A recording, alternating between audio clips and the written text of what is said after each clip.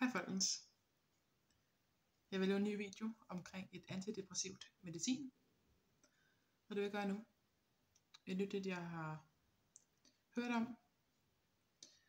Og den hedder Venlafaxin. Det er et SNRI præparat. Og jeg vil gerne øh, belyse bivirkningerne på Venlafaxin nu her. Meget almindelige flere end 10 ud af 100 personer får bivirkningen. Forstoppelse, kvalme, mundtørhed, svimmelhed, hovedpine, sløvhed, søvnløshed, øget svedtendens herunder nattesved. Almindelige højst 10 ud af 100 personer får bivirkningen.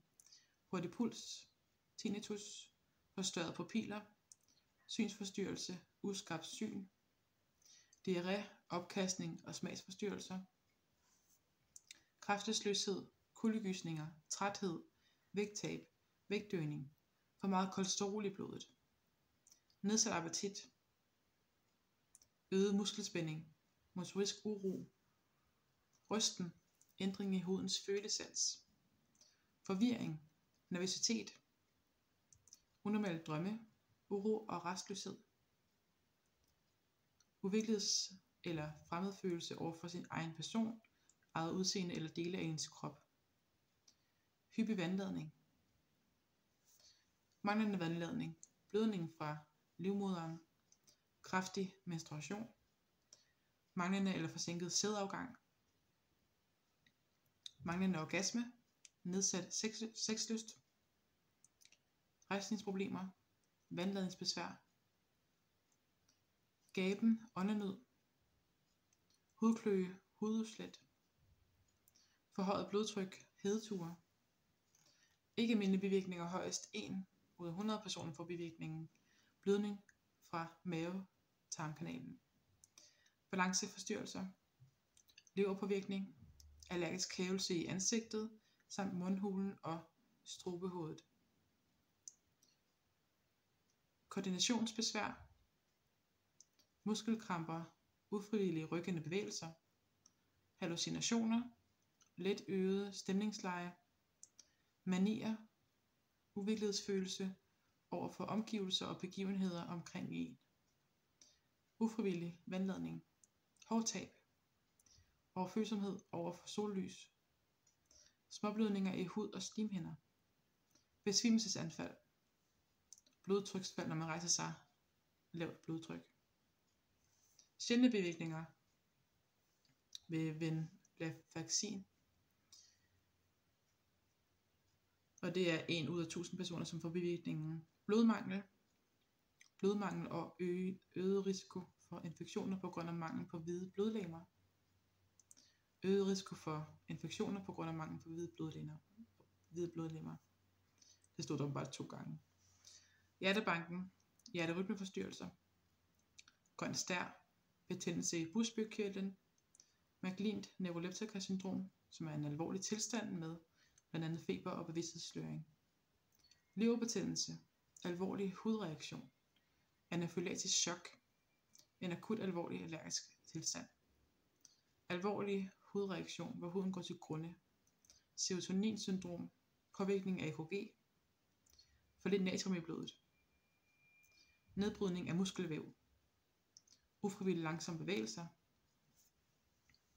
Delirium, en tilstand, med confusion og påvirkning af syns- og høreindtryk, allergisk lungebetændelse og lungesygdom. Meget sjældne bivirkninger højst 1 ud af 10.000 personer får bivirkningen. Blødning fra slimhinder, tendens til blødninger, øget tendens til blødning på grund af fald i antallet af blodplader, øget mængde af hormonet prolaktin i blodet og ufrivillige bevægelser. Ikke kendte bivirkninger, stress udløst hjertesvigt, blødning efter fødsel, aggressivitet, selvmordstanker eller selvmordsadfærd. Og så er forlænget QT-interval er en særlig type forstyrrelse af hjerterytmen, som i enkelte tilfælde kan føre til pludselig død.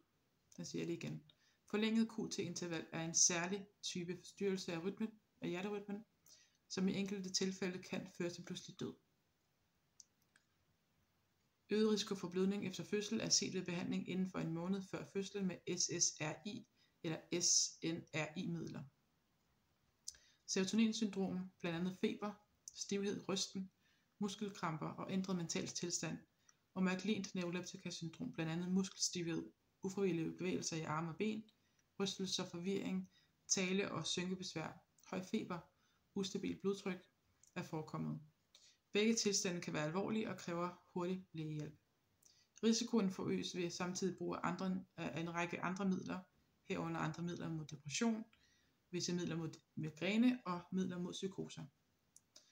Der er set tilfælde, hvor bivirkninger relateret til seksuelle forstyrrelser, f.eks. impotens, nedsat sexlyst, er blevet ved efter behandling med SRI eller SNRI-midler er stoppet. Visse bivirkninger som f.eks. træthed og søvnløshed kan være vanskelige at skelne fra depressionssymptomer.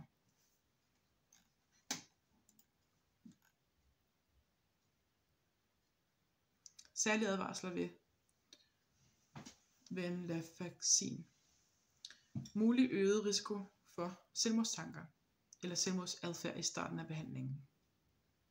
Særligt hos unge under 25 år. I de første uger af behandlingen og ved, ved ændringer af dosis skal man være opmærksom på tegn på eventuelle selvmordstanker eller selvmordsadfærd hos alle. Særligt ved symptomer på angst eller hvis der tidligere har været tilfælde af selvmordsadfærd.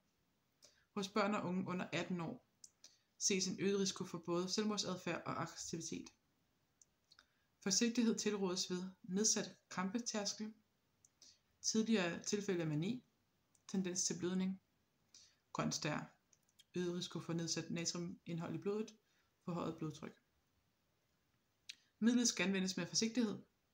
Hvis man har øget risiko for at udvikle forlænget QT-interval, en særlig type rytme, rytmeforstyrrelse af hjertet, det gælder f.eks. ved for lavt eller for lidt kalium i blodet, langsom puls, forskellige hjertelidelser samtidig brug af vanddrivende midler, samt hvis man er kvinde eller over 65 år. Hvis man, har, hvis man får symptomer på forstyrrelser af hjerterytmen, f.eks. hjertebanken, svimmelhed, besvimelsesanfald, skal man kontakte lægen. Risiko for påvirkning af blodsukker, hvis man, har lider af, hvis man lider af diabetes.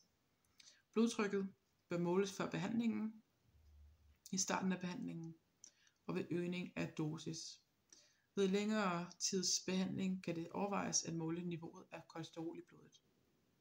Da midlet kan give mundtørhed og dermed øge risikoen for huller i tænderne, bør man gå til regelmæssig tandlægekontrol.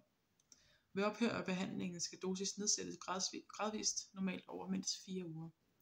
Ved pludselig ophør er der risiko for ophørssymptomer, som f.eks. svimmelhed, rysten, kvalme, søvnløshed og træthed.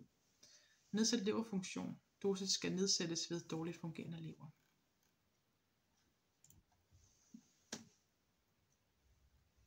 Og det er vigtigt, hvis du bruger noget andet medicin, at du får informeret lægen omkring det, og det er disse de følgende ting her.